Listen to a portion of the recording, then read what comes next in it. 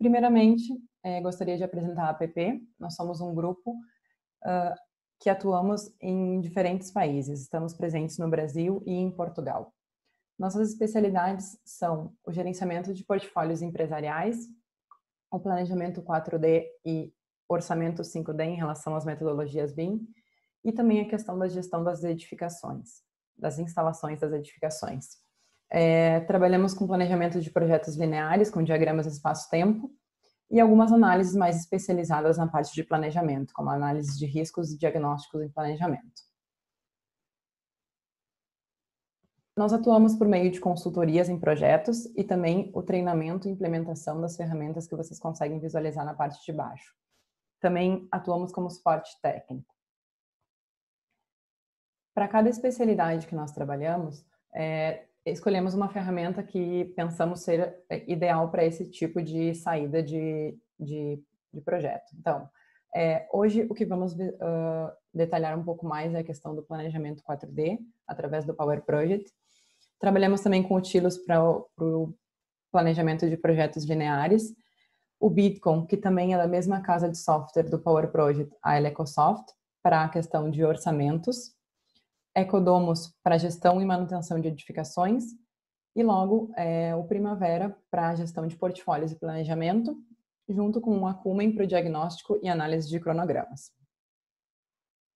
Hoje, então, vamos falar sobre a gestão BIM é, dos projetos em relação aos modelos IFC. Primeiramente, é, vamos detalhar um pouco mais o que é BIM. O BIM é um processo de trabalho colaborativo, onde a gente vai criar e gerenciar um projeto de construção ao longo de todo um ciclo de vida, é, centralizando todas essas informações em um ambiente comum de dados. Então, nós vamos gerar um modelo é, em três dimensões e cada elemento desse modelo possui informações é, ou, ou, dados associados a esse elemento. E vamos alimentando esse, esse modelo ao longo de todo o ciclo de vida do projeto. Existem algumas diferenças e vantagens de utilizar BIM é, num processo de trabalho para um projeto. É, podemos observar podemos observar a diferença em relação ao fluxo de dados de um processo CAD, onde vocês veem representado pela linha em verde, e um fluxo de projeto, um fluxo de, fluxo de dados, perdão, em relação ao processo BIM. A ideia, a, o propósito da metodologia BIM é utilizarmos esse modelo para acrescentarmos informações ao longo de cada fase do projeto, do desenho à construção e logo a, parte de operação desse, desse empreendimento.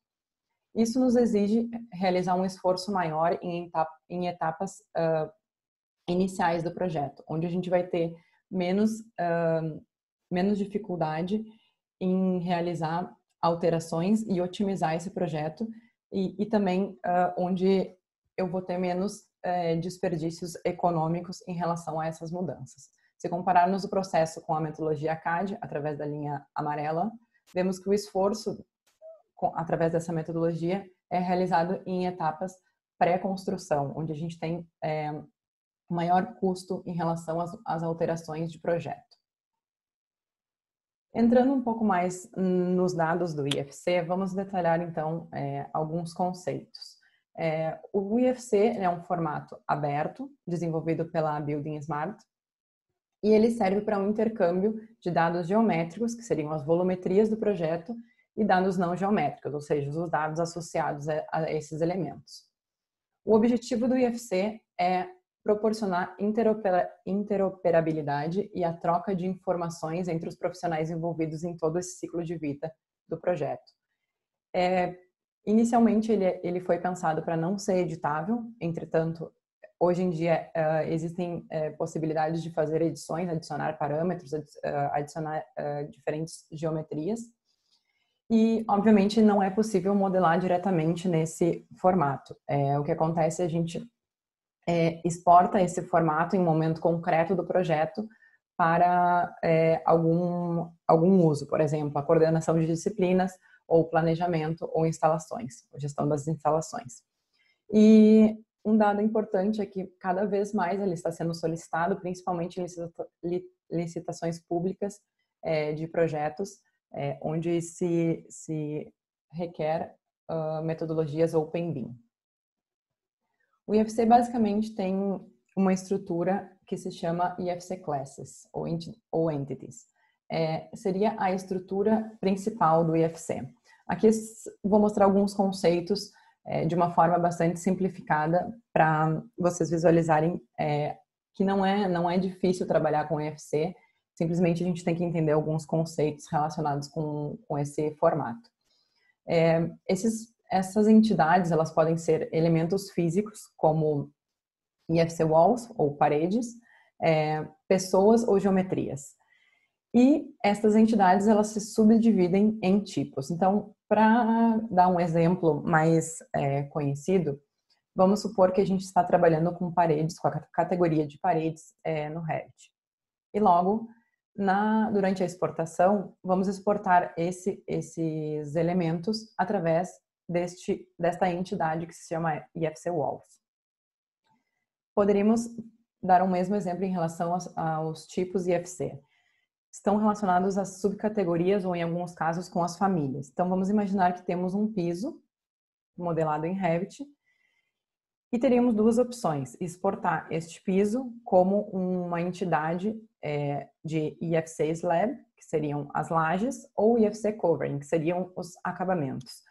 Se a gente optar por, por, por, por exportar esse piso como IFC covering, o interessante é associar um tipo IFC, é, determinando que esse piso, esse acabamento de piso, na verdade, é, tem o tipo de floor, flooring. Ao mesmo tempo, é, cada elemento possui características. E dentro do IFC ele está dividido em duas, um, em duas um, em dois parâmetros, né? É, os atributos IFC e os property sets, que seriam as propriedades. É, a diferença dos atributos às propriedades é que, é que uh, os, os, atributos são uh, parâmetros já pré-definidos nas classes e nas tipologias é, IFC. E são sempre exportados a, quando fizemos um, uma exportação a este formato. Já os property sets é, são parâmetros criados pelo usuário, onde poderíamos escolher essas uh, propriedades a serem exportadas. O IFC possui versões desde 1996 e a versão, na verdade, mais utilizada até hoje é a versão 2.3. É, é um formato mais estável e o formato que está certificado pela maioria dos softwares de modelagem. É, o último formato que temos disponível é o, é o IFC4, foi lançado em 2013 e este tipo de formato, esta versão de formato, perdão, possui funções mais avançadas, mas ainda tem um processo de certificação em curso.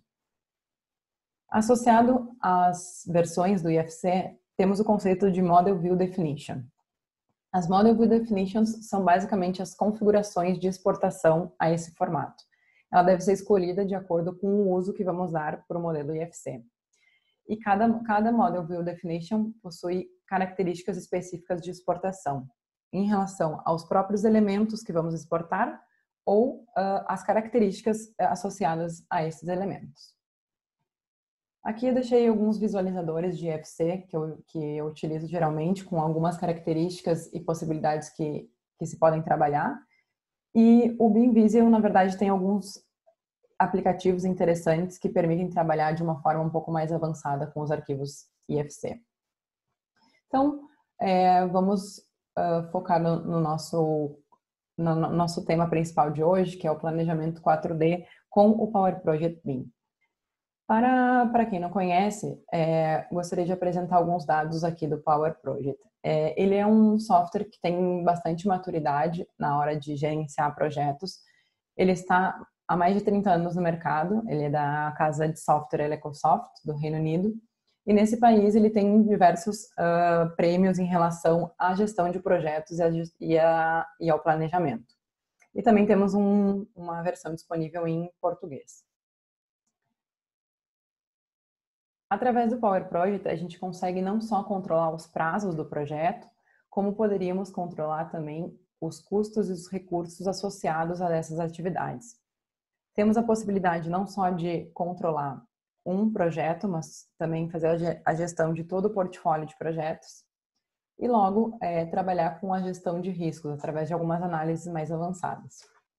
Ao final uh, do reporte desses dados, temos a possibilidade de gerar relatórios business intelligence através de todos os dados importados, através de todos os dados é, relacionados no Power Project.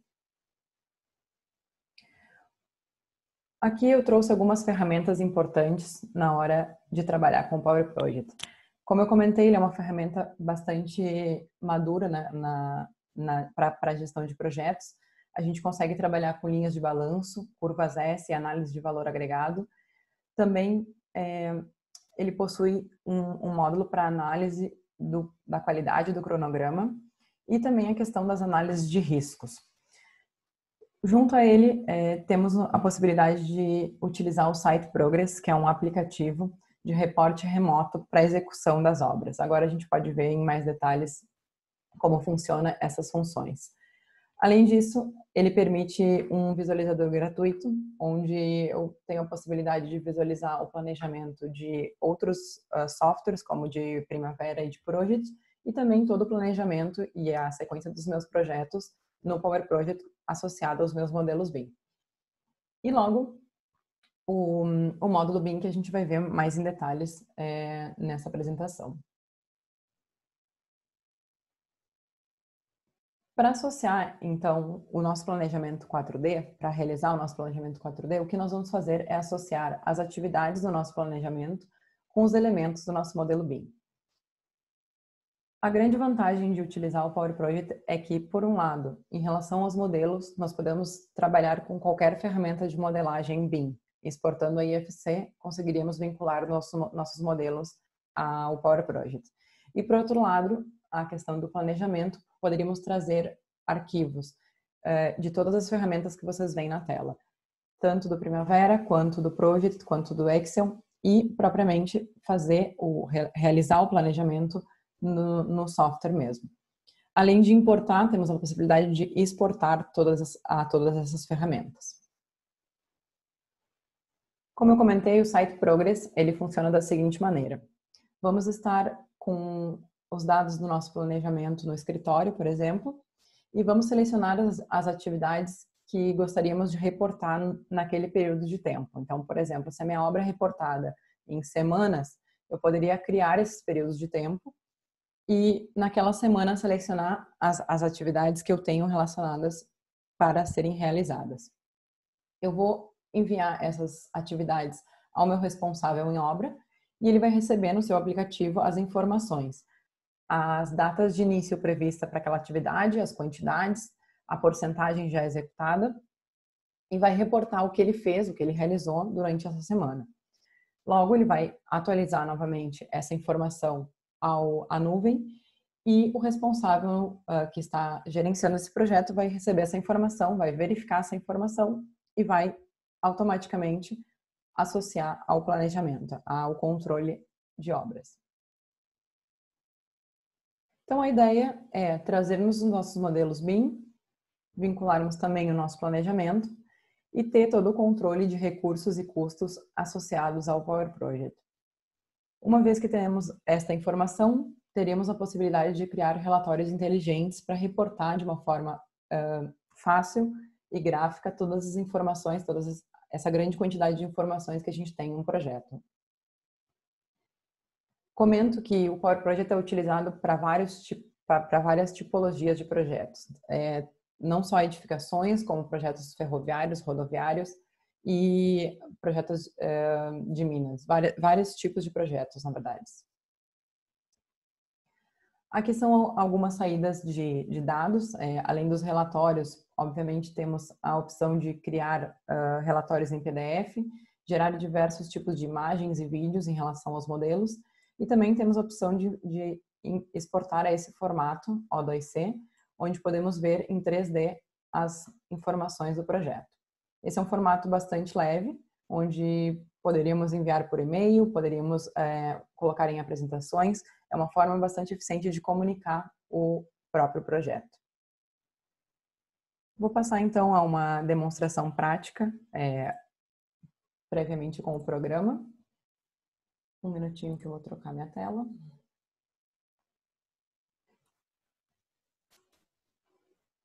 Ok.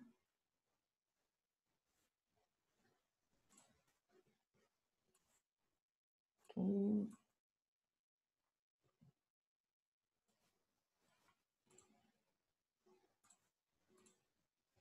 Ok, perfeito.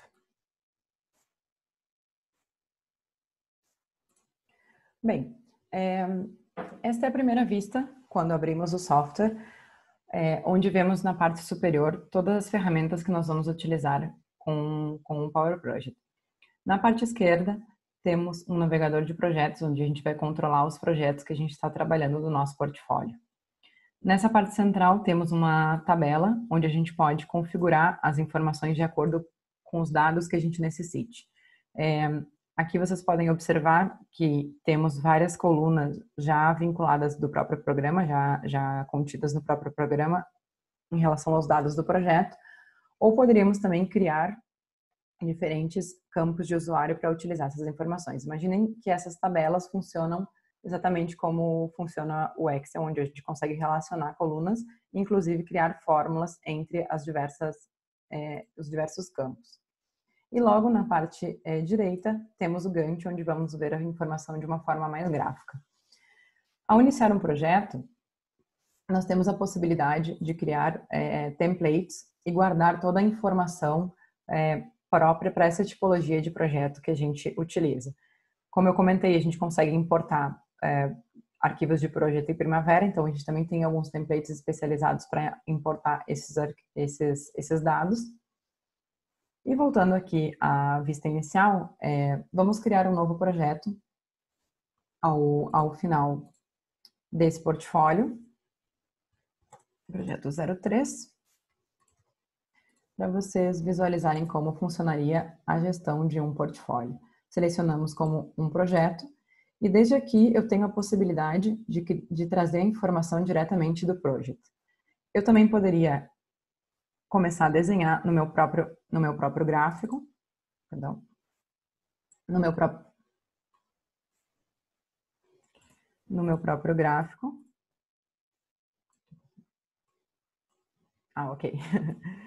No, no meu próprio gráfico de, de barras e linkando essa, essas informações à medida que eu precise. Aqui eu colocaria o nome das atividades, atividade 01, por exemplo, e eu poderia, atividade 02, e eu poderia vincular essas atividades e ir trabalhando com o meu projeto dessa maneira. Realizar o planejamento diretamente no software. Aqui eu posso ir trocando essas informações, obviamente, e assim configurando o meu planejamento. Desde aqui, eu tenho a opção também de trazer essas informações através do project, aqui por essas opções, ou através dessa opção onde eu vejo as importações e exportações a Purget e Primavera. O que nós vamos fazer é criar o nosso planejamento desde o nosso modelo BIM. Então, vamos visualizar a nossa aba, onde a gente vai ter as, as ferramentas para trabalhar com os modelos BIM. E em configurações, posso visualizar que eu tenho já três modelos carregados, modelos em formatos IFC. Para carregar um novo modelo, eu seleciono esta opção e eu consigo visualizar é, duas opções. Ou trazer os meus modelos do meu próprio computador, ou através da nuvem da Elecosoft. Esse é um serviço que vem associado ao Power Project, que é, é gratuito. É, ele vem a, a, já disponibilizado com o próprio programa. E ele serve para possibilitar a colaboração entre os modeladores e os planejadores do projeto. De forma que é, cada vez que eu tenho uma revisão desse projeto ou eu tenho uma alteração desse modelo, eu posso subir esse modelo à nuvem da Lecosoft e quem está trabalhando com o planejamento teria essa revisão, essa, essa última versão aqui já disponibilizada. Isso garante trabalharmos sempre com a versão mais correta, mais atualizada, perdão, é, em relação ao, ao meu modelo. É, eu já tinha importado aqui três modelos IFC, então a gente tem a possibilidade também de federar esses modelos através dessa criação, da criação de grupos. Eu vou abrir esse modelo aqui que eu já tinha configurado para vocês verem as características e configurações que nós conseguimos realizar é, no Power Project. Trouxe é, os três modelos, as três disciplinas deste modelo, através dessa opção, e relacionei as disciplinas de cada um. A, a segunda aba, ela me permite fazer uma sobreposição de cores no meu modelo em relação a alguns aspectos. Esta opção, onde eu posso sobrepor em relação aos, aos códigos criados, códigos personalizados do programa, é, me permite, por exemplo, criar códigos para estruturar as minhas atividades. Todas as atividades que eu tenha modelos associados, elementos desse modelo associado, eu posso fazer essa sobreposição através desse código. Isso é bastante útil, por exemplo, quando eu tenho um código associado de subempreiteiro ou terceirizado, dependendo como você chama. É, eu conseguiria filtrar todo o meu modelo, é, fazer essa sobreposição de cor de acordo com o próprio é, executor daquela, daquela atividade. Logo, uh, podemos relacionar a questão das, dos comportamentos das atividades, mais voltado para a simulação, se é um, uma atividade de construção ou de demolição. E também, quando eu não tenho os modelos com as coordenadas é, alinhadas, eu tenho a possibilidade de alinhá-los diretamente aqui no software, através dos próprios eixos ou de maneira é, manual, selecionando o, o modelo e arrastando ele na vista. Agora a gente pode visualizar como funcionaria.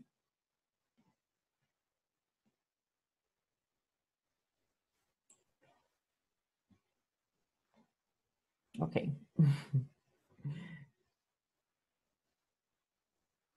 Logo, aqui abriu. Então, é, através dos próprios eixos, definindo é, as distâncias ou de forma manual. Logo, a última opção, eu, eu tenho a possibilidade de trazer elementos uh, próprios da minha obra, como gruas, andaimes, elementos que eu quero que eu quero que participem dessa simulação e, obviamente, posso definir a posição deles uh, ao longo da minha, da minha vista. Voltando aqui ao nosso projeto, eu vou selecionar então o modelo que eu quero visualizar nessa vista e habilitar o meu painel de visualização. Aqui a gente consegue visualizar o modelo, podemos navegar por ele através é, do próprio mouse ou através do, do cubo. O painel de categorias serve para visualizar a estruturação desse modelo em relação aos próprios modelos, eu poderia selecionar quais modelos eu quero visualizar na vista, ou através das localizações de cada um desses modelos. Então, por exemplo, é, vou deixar o modelo de estruturas, vou fechar isso aqui também para visualizar melhor, e vou filtrar por cada um dos pavimentos que eu tenho esse modelo modelado. E também em relação aos próprios elementos do modelo, em relação às próprias é, vigas, colunas ou qualquer elemento que eu, que eu queira filtrar nessa vista. Bem, na parte superior temos o painel de propriedades, onde a gente vai ver todas as propriedades relacionadas com esse elemento.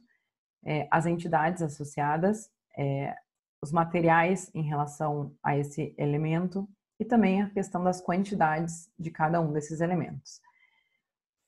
Para iniciar o nosso planejamento, eu tenho a opção de selecionar os elementos no modelo e facilmente arrastar através do meu Gantt no meu gráfico Gantt e já criar uma atividade associada a esse elemento. Eu tenho a possibilidade de adicionar outros elementos a, própria, a essa própria atividade e aqui eu teria relacionado os dois elementos já associados. É, que mais? Algumas coisas são importantes na hora de exportar o IFC para este uso. Vamos visualizar aqui então, selecionei essa porta e aqui eu trouxe alguns parâmetros um, personalizados. Esses parâmetros, é, eu criei uma tabela exatamente para exportação desses parâmetros, porque eu quero utilizar este valor para organizar o meu modelo é, ao longo do meu planejamento. Outra questão importante em relação é, a, aos muros é fazer a exportação deles através de capas é, separadas. Isso também é bastante importante na, na hora de realizar o planejamento, onde eu vou estar, primeiramente, construindo essa parede interior, parede de estruturas, né? E logo eu farei o planejamento destas atividades é, exteriores. Então, são algumas configurações que é, são necessárias serem uh, cuidadas na hora de, da exportação do IFC para utilizarmos o, o, planejamento de uma forma otimizada. Bem, a partir daqui, é, a gente tem duas opções para criar o planejamento. Ou selecionar os elementos é, e arrastar o meu Gantt, que seria esta opção de seleções abaixo. Cada vez que eu faço isso, eu crio uma seleção é, dos elementos que eu tinha a, a, trazido ao meu próprio Gantt. Uma opção mais otimizada é utilizar asserts. Asserts são agrupações de elementos segundo alguns critérios que eu estabeleça. Então, vamos criar aqui, por exemplo, uma nova search, uma nova pesquisa é, para portas, por exemplo, do primeiro pavimento.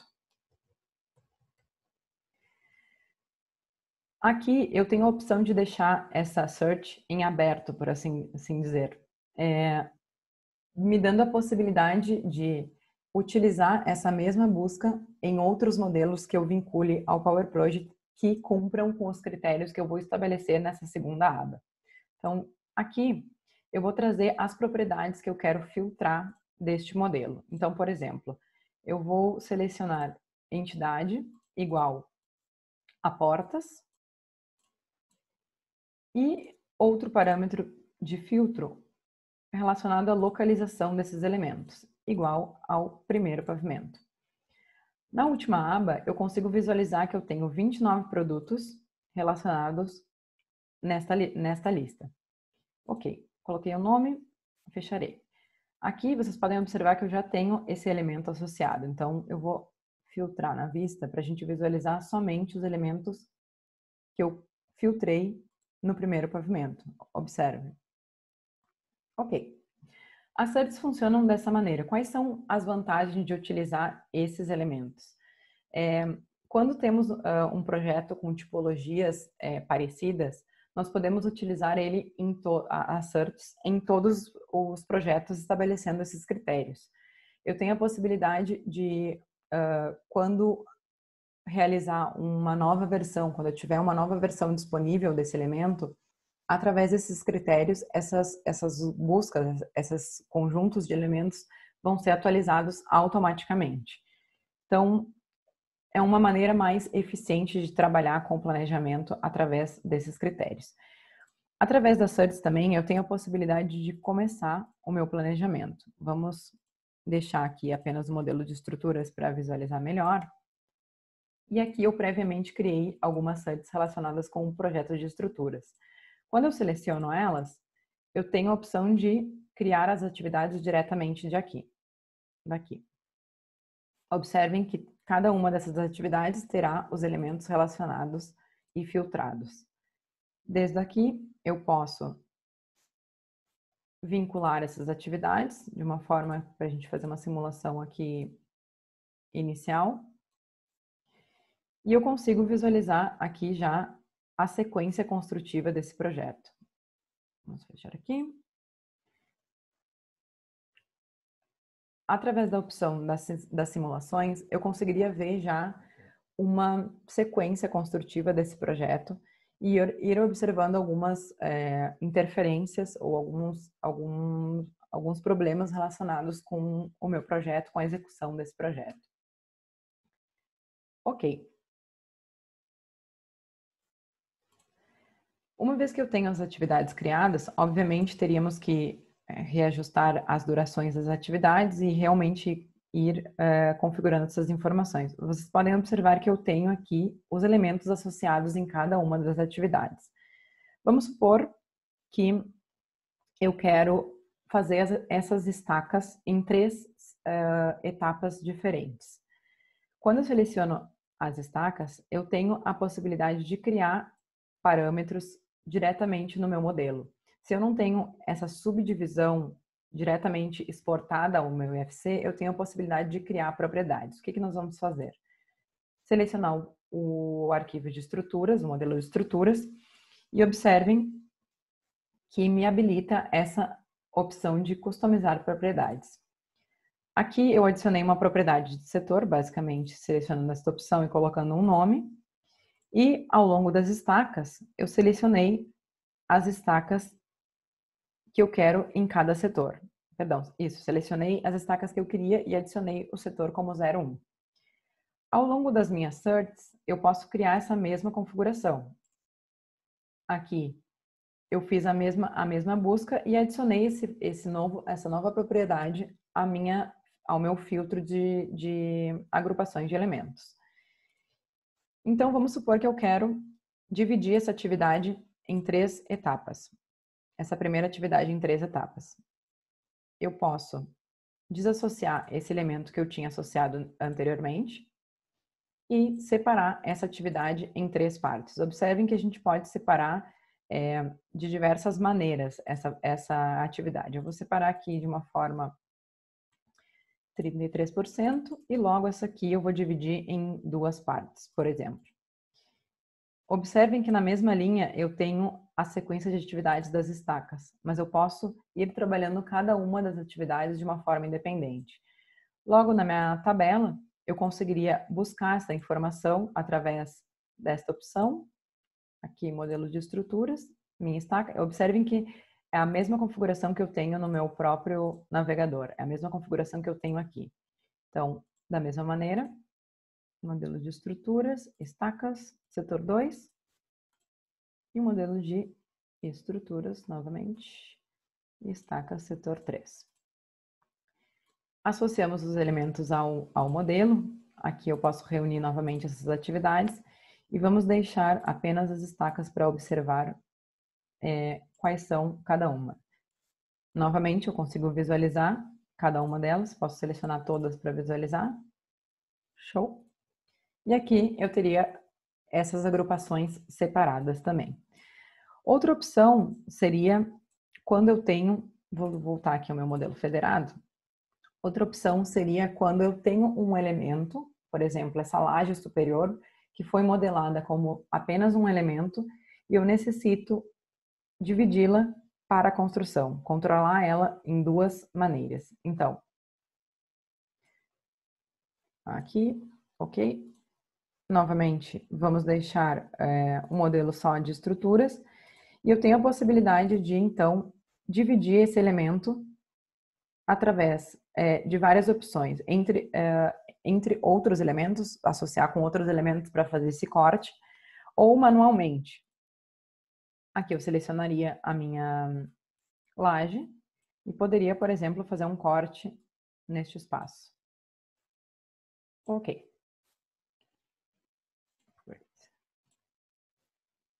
Observem que eu já tenho essa laje dividida e, obviamente, as minhas quantidades associadas a esses elementos são atualizadas automaticamente.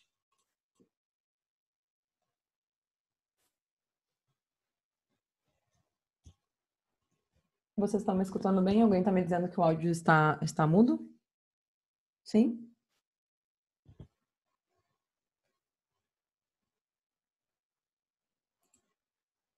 Tudo ok. Talvez você, você esteja com o áudio desconfigurado no seu computador, José. Ok, vou continuar então. Muito bem. É, bom, a partir daqui eu poderia, da mesma forma, associar este elemento a uma atividade, dividir a atividade exatamente como eu fiz nessa, nessa opção e associar cada um dos elementos a uma sequência construtiva. É, bem, para simulações, é, perdão, uma vez que eu tenho associado os elementos às atividades, a gente pode observar que eu consigo trazer todas as informações desses elementos, tanto a quantidade de elementos associados, quanto as áreas e volumes relacionados com cada elemento que eu tenho nessas atividades, por exemplo, aqui das estacas. Facilmente eu poderia configurar a quantidade de trabalho relacionada com cada uma das atividades. Então, vou fazer um exemplo aqui para a gente visualizar e vou colocar todas como volume, como os dados de volume que eu tenho. Obviamente, eu posso alterar essa unidade e as quantidades de trabalho também podem ser alteradas à medida que eu necessite. Esses, esses valores vêm do próprio IFC e eu os, os, os utilizo como referência para quantidade de trabalho associada às minhas atividades. Podemos observar aqui, vou fechar aqui para a gente visualizar, no Gantt, podemos observar então que essa, essa atividade tem cinco dias de duração. Se eu definir um rendimento de 20 metros cúbicos, por exemplo, observem que eu tenho automaticamente atualizada esta, essa definição de tempo. Ao mesmo tempo, quando eu defino a duração da minha atividade, o meu rendimento é calculado.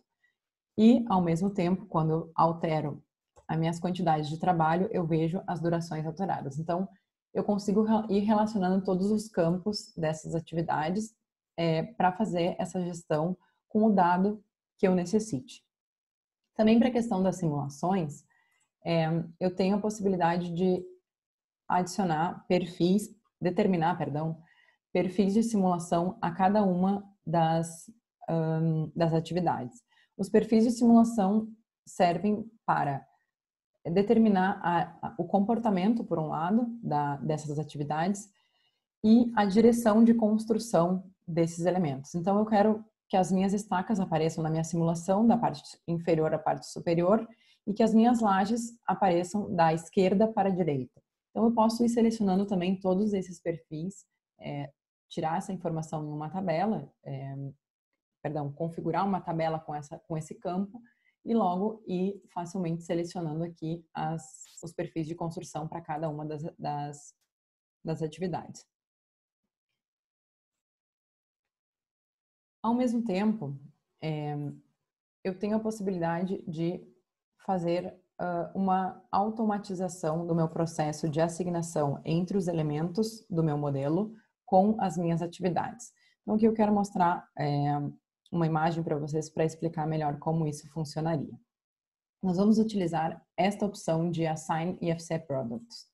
Observem aqui que a gente tem a opção é, de vincular. A gente necessita de um elemento em comum entre atividades e entre elementos do modelo. E esse elemento em comum poderia ser o nome, os códigos de livraria, que são esses códigos criados aqui, ou é, as minhas entradas da WBS. A gente vai utilizar este fator, estes códigos aqui como exemplo. Observem que eu tenho é, na minha vista as minhas atividades coloridas. Isso significa que eu tenho um código associado a cada uma dessas atividades. Eu tenho um código de pavimento associado a cada uma dessas atividades. Significa que as amarelas são o pavimento 1, as rosas o pavimento 2 e as, as azuis o pavimento 3. Eu posso associar diferentes códigos a cada uma das atividades. Observem aqui, estou em tarefas, códigos, e eu posso criar estes, esse, essas categorias de código conforme eu necessite, conforme o tema que eu necessite filtrar essa informação. Então, da, da mesma forma, eu tenho a opção de abrir essa estrutura a todas as, as, atividades que eu associei esse código P01, uh, eh, o sistema vai filtrar essa informação e vai me dar todas as atividades que eu tenho para o pavimento 1. Isso, a mesma coisa acontece se eu tenho um subempreiteiro, por exemplo onde eu de, de, destinei algumas atividades para construção para essa equipe. Então, eu consigo fazer esses tipos de filtros na minha vista, certo? Aqui, perdão. Ok. É, então, vou trazer a imagem aqui para vocês visualizarem. A gente vai utilizar esta segunda opção. O que a gente necessita fazer é ter um fator em comum entre o planejamento e os elementos do meu modelo IFC. Nesse caso, a gente vai utilizar uma classificação dos elementos da construção, uma classificação uniforme. Essa é uma classificação standard, mas não necessariamente você deve, deve utilizar essa. Você pode utilizar outras classificações ou mesmo criar uma classificação própria da sua empresa, se a sua empresa tem é, já essas, esses tipos de classificações. Bem, essa classificação é a mesma que eu criei aqui internamente no Power Project. Essa mesma classificação eu criei aqui. Logo, lembra que eu comentei a questão de como a gente cria as próprias certs? Através dessa agrupação, eu tenho a possibilidade de criar estas certs já com esses códigos associados. Perdão, abri outra. Aqui. Paredes internas, estrutura. Aqui mesmo. eu tenho a possibilidade, então, de criar essas certs diretamente com esses códigos associados. Isso, significa que meu, meus elementos do modelo já têm esses códigos e eu posso, então, uma vez que eu tenho essa configuração que eu acabei de comentar, os códigos e as certs criadas, a única coisa que eu necessitaria fazer é associar as atividades a essa classificação. Da mesma forma, eu trouxe esse campo na minha tabela e aqui eu tenho três atividades de exemplo. Podem ver que eu não tenho elementos associados a elas e o que eu fiz foi trazer essa classificação, observem que é a mesma estrutura que eu tenho aqui, é, a essa atividade, associei a essa atividade. Uma vez que eu tenho isso realizado, eu posso optar por esta opção de que os elementos sejam combinados através dos códigos de livraria. De biblioteca, perdão. Aqui observamos é, nove tarefas é, que foram assignadas, essas nove tarefas que eu tenho aqui. Mais uma vez, eu tenho todos os elementos associados às, às atividades. Quando eu seleciono essa, esta opção, vamos ver aqui no modelo de arquitetura, eu tenho, é, ah, são as estruturas internas, isto, portas. Eu tenho os elementos associados, então, desde o meu pavimento, aqui ó, pavimento 1, eu tenho os meus modelos associados a essas atividades. Bem, é, além disso, a gente tem a possibilidade de associar tanto os recursos, como elementos de construção, gruas, equipamentos, recursos humanos, como os profissionais que vão trabalhar nessas atividades, e também os materiais, e fazer todo esse controle de recursos a cada uma das atividades. Basicamente, o que a gente tem que fazer é selecionar o recurso e associar, arrastar acima do Gantt para associar a essa atividade. Da mesma forma, a gente consegue controlar os, os custos de cada uma das atividades.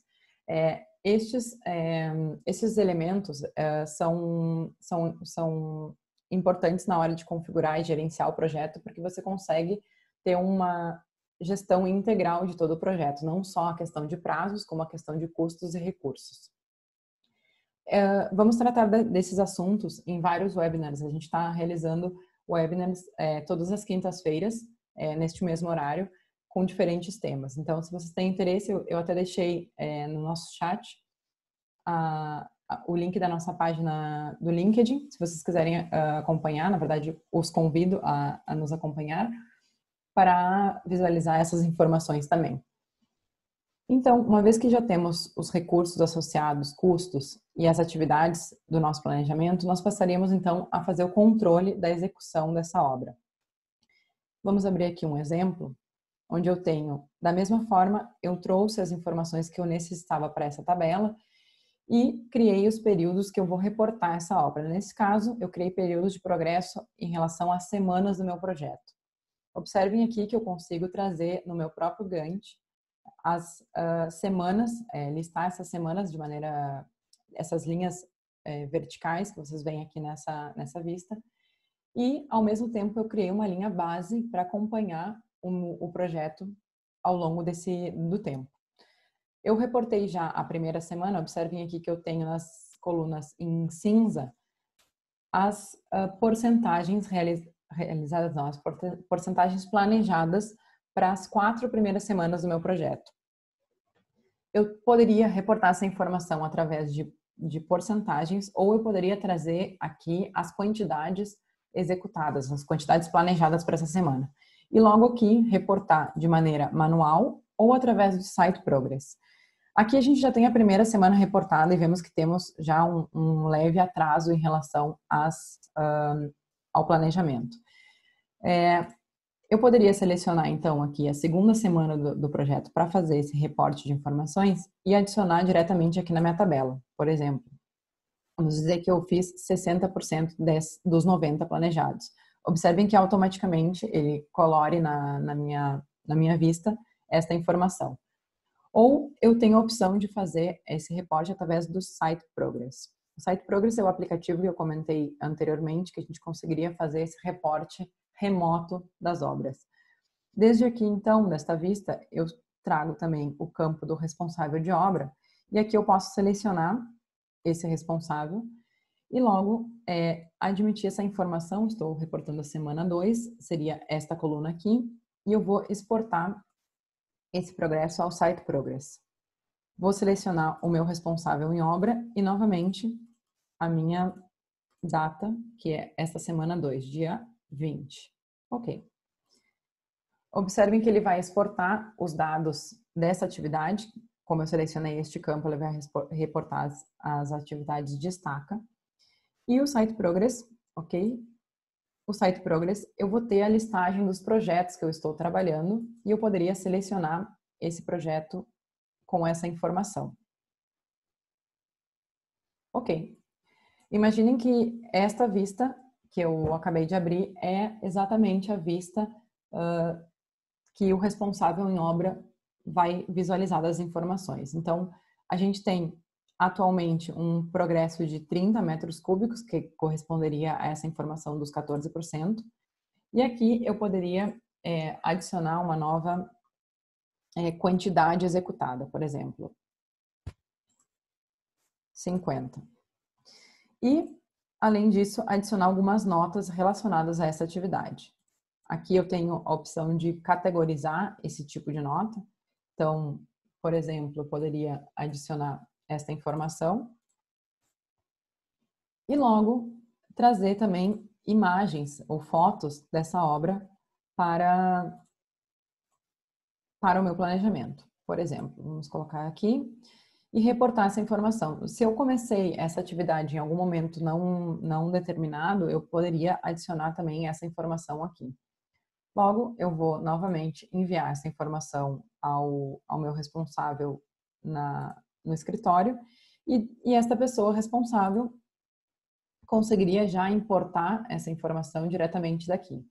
Eu tenho aqui uma atualização da Aline e logo selecionar novamente este mesmo período que eu determinei anteriormente, aqui em janeiro 20, né? Ok. Observem que este valor, este campo, será atualizado. Esta segunda semana aqui será atualizado. Eu tenho a opção, obviamente, de aceitar ou recusar essa informação, fazer uma prévia verificação dessa informação, e logo eu teria esse valor aqui adicionado. Uma vez que eu tenho essa informação, eu posso reprogramar o meu projeto de acordo a este mesmo período e observem que ele vai empurrar essa, essa quantidade de trabalho para uma uma semana posterior. Obviamente, eu posso configurar para é, manter a data final de, de finalização dessa atividade e aumentar o rendimento da minha equipe nesse momento. Mas simplesmente por questão de, de demonstração, vamos deixar assim. Aqui, eu tenho a opção, então, de trazer um modelo de comparação para visualizar como eu havia planejado essa obra e como eu estou levando essa execução. Vamos abrir aqui para visualizar um pouco melhor. Aqui, bem, voltamos à vista aqui. Aí, ótimo. Então, selecionar, é, visualizar já as diferenças é, da execução entre o planejado, esse, essa parte super é, inferior seria o projeto planejado inicial, e logo na parte superior a gente teria já o projeto em execução.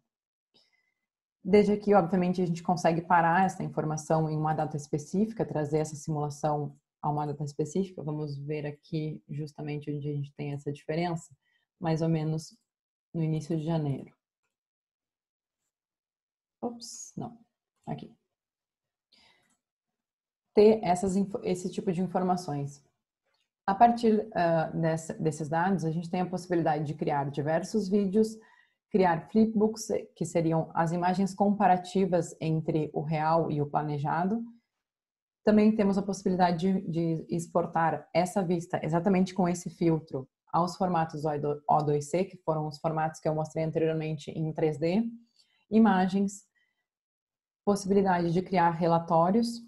Aqui eu tenho diversas é, pranchas já configuradas e, obviamente, a gente consegue editar esse formato para personalizar os dados que a gente necessite, colocar o Gantt na parte superior, os modelos, os modelos de comparação, fazer uma, uma prancha no, no formato que a gente necessite. E aqui observar todas essas informações. Claro, eu deixei o Gantt maior, apareceu tudo o Gantt aqui, mas é, você pode configurar tudo isso. E, finalmente, reportar essa informação através de relatórios. Através dessa opção, vocês podem visualizar aqui que a gente tem é, relatórios pré-definidos. Esses relatórios possuem um, templates do, do próprio Excel, onde a gente clicaria nesse, nesses relatórios e automaticamente sairia com essa informação desejada, com os campos já mapeados. Esses relatórios são bastante úteis na hora de criar relatórios BI, que é uma das possibilidades do Power Project. Além disso, é, conforme eu comentei, a gente vai estar fazendo alguns outros é, webinars em relação a outras funcionalidades. Aqui vocês podem observar a questão das qualidades do, do cronograma que são que temos a possibilidade de verificar, questões de é, relatórios de análise de valor agregado e a questão das análises de riscos, que também são bem importantes na hora de gerenciar os projetos. É, bom, agradeço a todos a, a presença. Mais uma vez, um, convido a que nos sigam nas nossas redes sociais. Eu deixei os links aqui. Vamos ver se a gente tem alguma, alguma pergunta no nosso, no nosso chat.